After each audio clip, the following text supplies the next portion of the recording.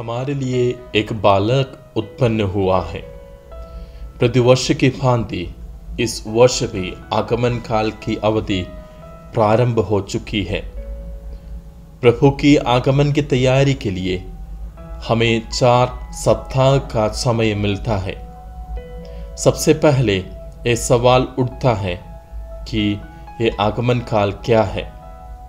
प्रभु का जन्म तो 2000 से ज़्यादा वर्षों पहले हो चुके हैं। ये आगमन काल प्रभु के आगमन से अधिक हमारे आगमन का समय है। ये काल हमारे बारे में मनन चिंतन करने का समय है। क्या हम प्रभु के पास हैं? क्या हम प्रभु में आ चुके हैं? हम कहाँ हैं? प्रभु में हैं या प्रभु से दूर।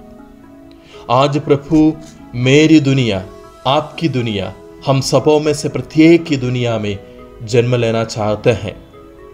अगर मेरी दुनिया उनके जन्म के लिए योग्य है तो वो ज़रूर उसमें जन्म लेंगे। यदि हम ईमानदार सेवक के जैसे, स्वामी के आने पर अपने कर्तव्यों को निभाते हुए पाते हैं तो प्रभु मेरी और आपकी दुनिया में जन्म लेंगे।